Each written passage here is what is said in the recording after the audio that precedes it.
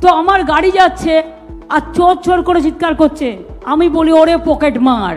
মুখ্যমন্ত্রী কনভয় দেখে চোর চোর চিৎকার করে উঠেছিলেন বিজেপি কর্মীরা। চালসার ঘটনার জেরে বেশ ক্ষিপ্ত মুখ্যমন্ত্রী। শনিবার ফুলবাড়ির সভা থেকে গর্জে উঠলেন তিনি। চোর চোর স্লোগান দেওয়া বিজেপি কর্মীদের পকেট মার বলে পাল্টা খোঁচা দিলেন মমতা। যে পকেট মারি করে সে আগে বাজবার জন্য পকেট মারি করে চিৎকার করে। বৃহস্পতিবার মুখ্যমন্ত্রী মমতা বন্দ্যোপাধ্যায় যখন কনভয় নিয়ে চালসার দিকে যাচ্ছিলেন, সে- সময় মেটালি রাস্তার পাশে পূর্ব নির্ধারিত কর্মসূচি অনুযায়ী বিজেপি প্রার্থী মনোজ টিগ্গার সমর্থনে পথসভা করছিল বিজেপি। বিজেপি কর্মীরা মুখ্যমন্ত্রী কনভয় দেখে পুলিশের সামনেই চোর চোর স্লোগান তোলেন। যদিও সেখানে না দাঁড়িয়ে সোজা হোটেলে চলে যান মুখ্যমন্ত্রী। এই ঘটনার দুদিন পর শনিবার শিলিগুড়ি সংলগ্ন ফুলবাড়ির সভায় এসে গর্জে উঠলেন মমতা।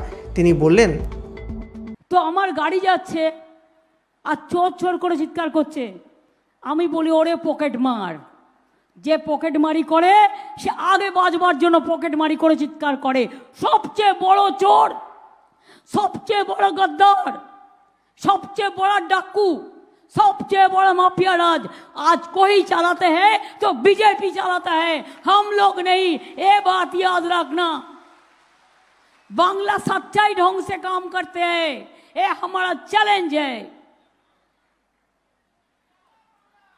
अगर आपको चार बच्चा रहेगा, एक बच्चा सादा हो सकता है, एक बच्चा थोड़ा गोरा हो सकता है।